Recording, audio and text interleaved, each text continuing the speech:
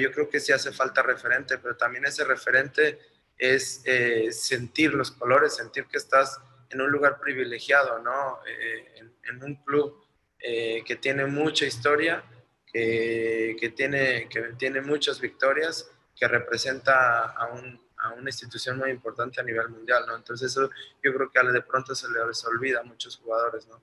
A mí desde, desde mi comienzo me tocó estar con jugadores que, bueno, toda la gente lo sabe, ¿no? Que, que tenían esa esencia, ese escudo tatuado, el cual te puedo mencionar nombres, Omar Bravo, eh, Ramón Morales, eh, Osvaldo Sánchez, el Bofo, eh, el Venado Medina. Yo creo que había muchos jugadores que, que, nos arropaban a los jóvenes y que nos transmitían eso, ¿no? Ese, ese orgullo cuando, ese ego de perder, ese orgullo de, de sentir los colores, de saber que estás representando al mejor equipo de México.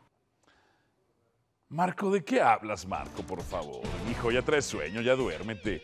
Hablando de que hacen falta referentes como si tú lo hubieras sido en el Guadalajara, había muchas expectativas sobre ti, se te consideraba un gran prospecto, se te consideraba que tú ibas a cargar al conjunto y jamás lo hiciste. Recuerdo cuando Chivas en su momento se deshizo la primera vez de ti y te mandó a Cruz Azul, en donde como venía el Mundial y me tocó transmitir aquella campaña de Cruz Azul, ahí sí fuiste referente. Siete goles, te convertiste en el referente de la máquina cementera. Pero en Chivas, ¿cuándo lo fuiste? Del orgullo y la importancia de estos colores cuando diste más de qué hablar fuera de cancha con Chivas que dentro de ella? Por favor, Marco, tantita moral. Perdón por siempre estar tan preparado. Tengo algunas cositas que decir de ti en tu paso en Chivas. 15 torneos de liga jugaste con el Guadalajara. No fuiste campeón en ni uno.